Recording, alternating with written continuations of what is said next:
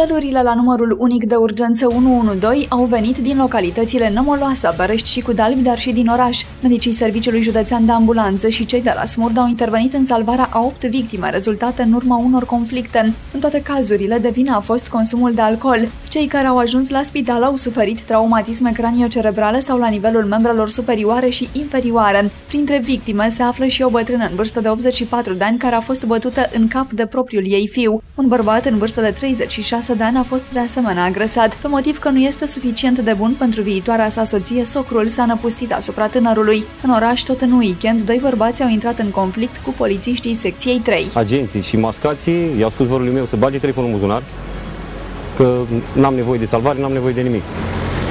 După ce au terminat cu vărul meu și i-au, l-au amendat pentru, nu știu pentru ce l-au amendat, că mâncase mințe, m-au amendat pentru consum de băuturi alcoolice și Și consumați era? nu, nu, era o cutie la 5-6 metri lângă mașină. Vorul meu a cerut să ducă la toaletă și a mers un mascat cu el la toaletă.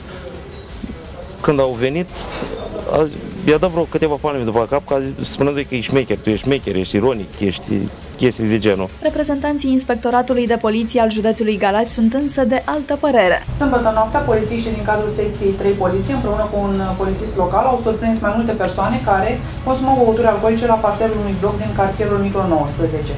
Cei patru suspecți au fost conduși la sediul secției 3 poliție și doi dintre ei au fost sancționați contravențional pentru tulburarea ordinii și liniștii publice. Din nefericire, numărul persoanelor care ajung pe holurile unității de primiri urgențe după ce consumă cantități impresionante de alcool este tot mai mare, iar acest aspect dezavantajează grav sistemul. Asistența și transportul acestor persoane împovărează cheltuielile cu îngrijirea medicală, astfel de pacienți folosesc fondul asigurărilor de sănătate la care mulți dintre ei nici măcar nu contribuie.